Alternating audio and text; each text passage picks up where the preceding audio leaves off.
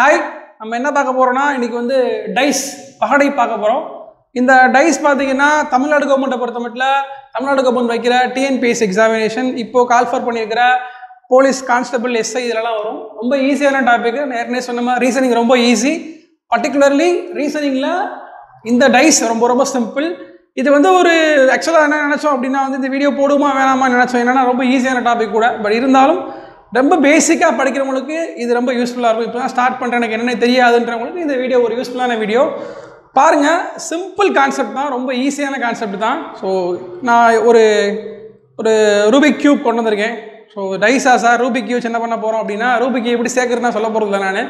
நம்ம என்ன போகிறோம் பண்ண போகிறோம்னு பார்த்தீங்கன்னா வந்துட்டு இதை வச்சு கான்செப்ட் சொல்ல போகிறோம் ஸோ இது பார்த்தீங்கன்னா அந்த- அந்த டைஸ் மாதிரி பகடை மாதிரியே பார்த்தீங்கன்னா ஆறு பக்கம் இருக்கிற ஒரு டைஸ் ஸோ ஆறு பக்கத்தில் ஆறு டிஃப்ரெண்ட் கலர்ஸ் இருக்கும் நம்மளுக்கு எக்ஸாம் என்ன கொடுப்பாங்கன்னு பார்த்தீங்கன்னா இந்த டைஸோட வெவ்வேறு சைட்ஸ் கொடுத்துருப்பாங்க. மூணு சைட்ஸ் காமிச்சிருப்பாங்க. ஃபார் எக்ஸாம்பிள் இதை பாருங்களேன்.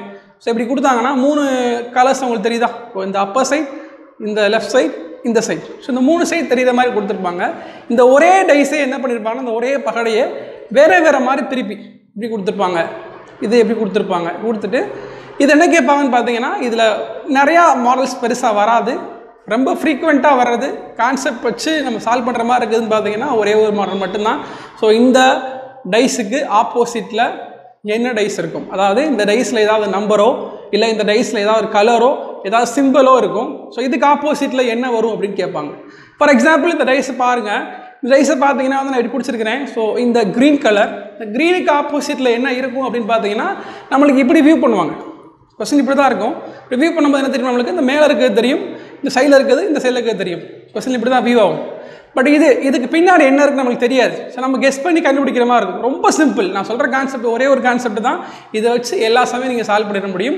கான்செப்ட் கிளியராக பாருங்கள் ஏதாவது டவுட் இருந்தால் திரும்ப கேளுங்க. இதை பற்றி அனதர் எக்ஸ்ப்ள எக்ஸ்ப்ளனேஷன் மாதிரி போட்டு இன்னொரு வீடியோ கூட நம்ம எடுப்போம். ரொம்ப சிம்பிள் கான்செப்ட் ரொம்ப சிம்பிள் பாருங்களேன். இப்போது நான் சொல்ல போகிற லாஜிக் இந்த ஒரு ரெண்டு நிமிஷம் லாஜிக் ரொம்ப முக்கியம். பாருங்கள் இப்போ வந்து இந்த க்ரீன் இருக்குது இந்த க்ரீன் வந்து நான் என்ன பண்ணுறேன்னா இப்படி இப்படி மேலே காட்டுறேன். க்ரீனை மேலே காட்டுறேன். ஸோ க்ரீன் உங்களுக்கு தெரிகிற கலர்ஸ் பாருங்கள் என்ன தெரியும் அப்படின்னு பார்த்தீங்கன்னா வந்து உங்களுக்கு தெரியும் போது வந்துட்டு க்ரீன் டாப்பில் இருக்கா? க்ரீன் டாப்பில் இருக்குது அதே மாதிரி பார்த்தீங்கன்னா இப்போ தெரியும் போது உங்களுக்கு என்ன தெரியும் பார்த்தீங்கன்னா வந்துட்டு இந்த ஆரஞ்சும் இந்த ஒயிட்டும் தெரியும். அப்படி தானே இது க்ரீன் நல்லா கவனிங்க இந்த க்ரீன் வந்து டாப்பில் இருக்குது இப்படி தானே ஸோ இதுக்கு ஆப்போசிட் என்ன தான் இருக்க முடியும்? இதுதான் இருக்க முடியும். ஸோ இதோட ஆப்போசிட் உங்களுக்கு வியூ ஆகாது. மறைவாக தான் இருக்கும். அதே மாதிரி இதோட ஆப்போசிட்டும் உங்களுக்கு வியூ ஆகாது. மறைவாக தான் இருக்கும். அதே மாதிரி இதோட ஆப்போசிட்டும் தெரியாது. ஆனால் என்ன சொல்லலாம் கன்ஃபார்மாக இதோட ஆப்போசிட்டு இது ரெண்டும் கிடையாதுன்னு சொல்லலாம். எப்படி அப்படின்னா இந்த க்ரீனோட ஆப்போசிட் எதுவாக தான் இருக்க முடியும்னு பார்த்தீங்கன்னா இது ரெண்டை தவிர மற்றதாக இருக்கலாம். அப்படி தான் சொல்ல முடியும். ஸோ இது ரெண்டு கன்ஃபார்மாக கிடையாது நம்மளால் சொல்லிட முடியும். இதோட ஆப்போசிட் எதாவது இருக்கலாம் பார்த்தீங்கன்னா வந்துட்டு இதோட ஆப்போசிட் நான் அப்படியே திருப்பி பாருங்கள் இதாக தான் இருக்க முடியும். ஸோ இது வியூ ஆகாது. அப்போது நம்ம இந்த சமயம் எப்படி சால்வ் பண்ண போகிறோம் அப்படின்னா வந்துட்டு கேட்குறது என்ன கேட்குறாங்க? இந்த க்ரீனுக்கு ஆப்போசிட்டில் என்ன வரும்னு கேட்க போகிறாங்க நம்ம என்ன பண்ண போகிறோம்னா க்ரீனுக்கு ஆப்போசிட்டில் என்னெல்லாம் வராது அப்படின்றத வச்சு இந்த சம்மை சால்வ் பண்ண போகிறோம் நான் சால்வ் பண்ணுறேன் சால்வ் பண்ணும்போது உங்களுக்கு கிளியராக புரியும். ஒரு சம்மை நான் எழுதுறேன். அந்த சம்மை எழுதும்போது அதை சொல்லி எக்ஸ்பிளைன் பண்ணும்போது உங்களுக்கு நல்லா புரியும். பாருங்கள் பாருங்கள் இந்த சம் பார்க்கலாம். இப்போது இந்த டைஸையும் இந்த ஃபஸ்ட் டைஸையும் இமேஜின் பண்ணிக்கோங்க. இதில் பார்த்தீங்கன்னா வந்துட்டு இந்த டாப்பில் இருக்கிறது ரெட் கலர் தான் சிக்ஸ்ன்ற மாதிரி இமேஜின் பண்ணி ஃபேஸ்க்காக மட்டும் சொல்கிறேன் நான். சிக்ஸு இது வந்து பார்த்தீங்கன்னா த்ரீ இது வந்து பார்த்தீங்கன்னா த்ரீ இது வந்து பார்த்தீங்கன்னா ஒன் ஸோ இந்த மாதிரி இருக்கும். அப்போ ஷோராக என்ன சொல்லலாம்? சிக்ஸுக்கு ஆப்போசிட்டில் இந்த ரெண்டு வராது. அப்போ சிக்ஸுக்கு ஆப்போசிட்டில் த்ரீ ஒன்று வராதுன்னு சொல்லாமா? இவ்வளோதான் கான்செப்ட் இந்த டைஸில் ஃபஸ்ட்டு டைஸில் மேலே இருக்கிற சிக்ஸுக்கு ஆப்போசிட்டில் த்ரீ ஒன்று வராது. அதே மாதிரி எல்லாமே. இப்போ ஒன்றுக்கு ஆப்போசிட்டில் த்ரீ சிக்ஸ் இருக்காது. இப்போ இப்போ காமிக்கிற ஃபேஸஸ் இருக்கு இல்லையா? இப்போ இந்த ஃபேஸ் இது இந்த- இந்த மூணு ஃபேஸ் உங்களுக்கு தெரியுது அப்படின்னா இந்த மூணு ஃபேஸோட ஆப்போசிட்டுமே இது மூணு கிடையாது. இதோட மூணு பின்னாடி ஹைடாக இருக்கும் ஞாபகம் வச்சுக்கோங்க. ஸோ அப்படின்றப்போ நம்ம கொஸ்டின் என்ன கேட்டிருக்காங்க? மூணுக்கு அதாவது எண் மூணுக்கு எதிரே உள்ள எண் யாது? அதாவது த்ரீன்ற நம்பருக்கு ஆப்போசிட்டில் எந்த நம்பர் வரும்னு கேட்டிருக்காங்க. கரெக்டாக இது எல்லாமே ஒரே டைஸு வேறு வேறு மாதிரி காமிச்சிருக்கிறாங்க. கரெக்டுங்களா ஒரே டைஸ் தான். இப்போ என்னென்னா எல்லாமே சிக்ஸ் சிக்ஸ் ஃபேஸஸ் இருக்குது இந்த ஆறு பக்கம் இருக்குன்னா ஆறுமே வெவ்வேறையாக தான் இருக்குது ஒரே நம்பர் ரிப்பீட் ஆகாது. இது எல்லா சமுக்கும் அப்ளிகபிள் இப்போ பாருங்கள் இப்போ நான் என்ன பண்ண போகிறேன் அப்படின்னா வந்துட்டு இந்த த்ரீக்கு ஆப்போசிட்டில் எது வராதுன்னு பார்க்க போகிறேன் ஸோ நான் த்ரீயை போட்டுக்கிறேன். அதான் கொஸ்டினில் கேட்டுக்கிறாங்க.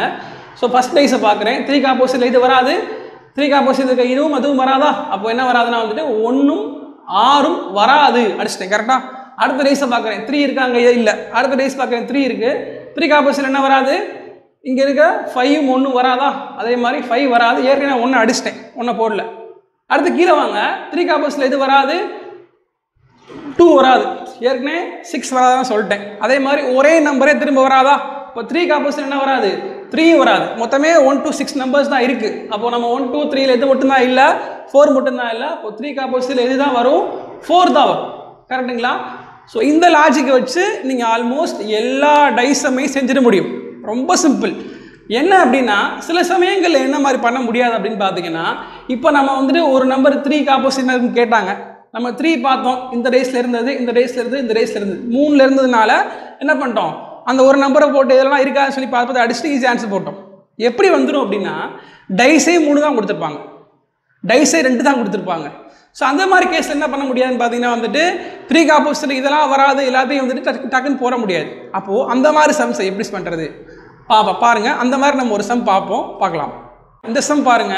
இப்போ இந்த சம் என்ன கேட்டிருக்கான்னு பார்த்தீங்கன்னா வந்துட்டு இந்த பகடையில் ஏக்கு எதிராக உள்ள பக்கங்களில் என்ன என்ன என்ன எழுத்து இருக்குன்னு கேட்குறாங்க. பாருங்க. இப்போ வந்துட்டு இதில் ஏ லெட்டர் பார்த்தீங்கன்னா வந்துட்டு இந்த மூணு பகடைகளில் மூணு டைஸில் இதில் மட்டும்தான் இருக்கு. அப்போ நான் சொன்ன கான்செப்ட் போட்டோம் அப்படின்னா ஏக்கு ஆப்போசிட்டில் எது வராது? கேட்குறது எது வரும் தான் கேட்பாங்க. நம்ம எது வராதுன்னு போட போகிறோம் அப்போ ஏக்கு ஆப்போசிட்டில் கேவும் பியும் கன்ஃபார்மாக வராது. இதுக்கு ஆப்போசிட் இது கிடையாது இதுக்கு ஆப்போசிட் எதுவுமே மூணுக்கு ஆப்போசிட் கிடையாது. ஏற்கனவே நான் சொல்லிட்டேன். கரெக்டுங்களா அப்போ ஏக்கு ஆப்போசிட்டில் பி வராது கே வராது ஏக்கு ஆப்போசிட்டில் ஏ வராது. கரெக்டா ஸோ அப்படி பார்க்குற பட்சத்தில் அப்போ இந்த மூணு வரல அப்படின்னா என்ன வரலாம்? இன்னொரு மூணு வரலாம் இல்லையா? ஸோ எனக்கு வேற எங்கேயும் என்ன இல்லை? ஏன் இல்லை. ஏக்கு ஆப்போசிட்லாம் போட முடியாது. இப்போ இந்த மாதிரி இருக்கும்போது என்ன பண்ணலாம் அப்படின்னா வந்துட்டு நல்லா தெரிஞ்சுக்கோங்க. மொத்தமே டைஸுக்கு ஆறு பக்கம் தான் இருக்கும். அப்போ ஆறு பக்கம்னா எத்தனை ஜோடி இருக்கும்? மூணு ஜோடி தான் இருக்கும். அப்போ டைஸில் நீங்கள் என்ன தான் கண்டுபிடிக்க போகிறீங்கன்னா மூணு ஜோடி கண்டுபிடிக்க மாட்டீங்க. ரெண்டு ஜோடி தான் கண்டுபிடிப்பீங்க. ஏன்னா ரெண்டு கண்டுபிடிச்சிட்டாலே இன்னும் ரெண்டு ஆட்டோமேட்டிக்காக ஒரு பேர் கரெக்டாக அப்போ ஏதாவது ரெண்டு கண்டுபிடிச்சாலே ஆப்போசிட் கண்டுபிடிச்சாலே சம் முடிஞ்சிச்சு. இந்த சம் நான் என்ன பண்ண போகிறேன்னு பார்த்தீங்கன்னா வந்துட்டு எனக்கு கேட்டிருக்க தினமும் ஏக் ஆப்போசிட் கேட்டிருக்காங்க. நான் என்ன பண்ண போகிறேன்னா இந்த மூணு டைஸில் எந்த லெட்டர் ரிப்பீட்டடாக இருக்குது ரெண்டு டேஸ்லேயோ மூணு டேஸ்ல எந்த லெட்டர் இருக்குன்னு பார்க்க போகிறேன் அதை வச்சு பண்ணால் கொஞ்சம் ஈஸி ஸோ எது அதிகமாக இருக்குன்னு பாருங்கள் ஹச் ரெண்டு இருக்குது பி ரெண்டு இருக்குது சரி ரெண்டில் எது வேணால் எடுத்து பண்ணலாம். நான் பி எடுக்கிறேன் ஃபஸ்ட்டு ஸோ பிக்கு ஆப்போசிட்டில் இது வராது அப்படின்னு பார்த்தோம்னா வந்துட்டு ஏ வராது கே வராது. அதே மாதிரி இந்த டேஸில் பி வராது ஹச் வராது பிக்கு ஆப்போசிட்டில் பிஏ வராது. கரெக்டுங்களா ஒன்று நாலு அஞ்சுமே முடிஞ்சா அப்போது அஞ்சு இது வராது. இப்போ பி ஆப்போசிட்டில் என்ன மட்டும்தான் வரும்னு பாருங்கள் என்ன மட்டும்தான் இருக்குது இல்லை வராத லெட்டர்ஸு எம் மட்டும்தான் இருக்குது இப்போ பி ஆப்போசிட்டில் என்ன தான் இருக்குது எம்முன்னு நான் கண்டுபிடிச்சிட்டேன். கரெக்டாக ஒரு பேர் நான் கண்டுபிடிச்சிட்டேன். ஸோ இது லென்த்தியாக இருக்கேன்னு நினைக்காதீங்க. ரொம்ப சிம்பிள் நீங்கள் ரொம்ப பெருசாக போட்டு யோசிச்சு ரொம்ப சிம்பிளாக யோசிச்சு போயிடலாம். பாருங்கள் இப்போ நான் ஒரு பேர் கண்டுபிடிச்சிட்டேன் இன்னும் ஒரு பேர் கண்டுபிடிச்சா முடிஞ்சு அப்போ இன்னொரு பேர் என்ன கண்டுபிடிக்க போகிறேன்னு பார்த்தீங்கன்னா அடுத்து ரிப்பீட்டடாக இருக்க லெட்டர்ஸ் நான் பிக் ஆப்போசிட்டில் பார்த்தேன்னா ஸோ பிக் ஆப்போசிட்டில் பார்த்த மாதிரி நான் அடுத்து அதிகமாக இருக்குது இது அதிகமாக இருக்குது ஹச் அதிகமாக இருக்கா? ஸோ ஹச் பார்ப்போம். ஸோ ஹச்சுக்கு ஆப்போசிட்டில் இதெல்லாம் வராது? எம் வராது கே வராது பி வராது பி வராது ஹச்சுக்கு ஆப்போசிட்டில் ஹச்சே வராது. ஏற்கனவே என்ன பார்த்தோம் நம்ம வந்துட்டு? இதில் இதில் நாலு அஞ்சுமே வராதுன்னு பார்த்துட்டோமா? அப்போ எது மட்டும்தாங்க இல்லை? ஏ தான் இல்லை அப்படி தான் லெட்டர்ஸில் அப்போது ஹச்சுக்கு ஆப்போசிட் என்ன மட்டும்தான் இருக்கும்? ஏ மட்டும்தான் இருக்கும். அப்போ பாருங்கள் இதில் நம்ம ரெண்டு பேர் கண்டுபிடிச்சிட்டோம். அப்போ இன்னொரு பேர் என்ன அப்படின்னு பார்த்தீங்கன்னா இதில் இதில் இல்லாத லெட்டர்ஸ் பாருங்கள் B M H A B M H ஏனா பாருங்கள் அதில் இதில் வந்து கே இருக்குது ஹச் இருக்குது இதில் பாருங்களேன். இதில் கே இல்லை இப்படி தானே கே இல்லை அதே மாதிரி இங்கே பார்த்தீங்கன்னா வந்து பி இல்லை. அப்போ என்ன அர்த்தம்? கேயும் பியும் ஒரு பேர் மொத்தமே மூணு ஜோடி தானே? கரெக்டுங்களா மொத்தமே மூணு ஜோடி தான்.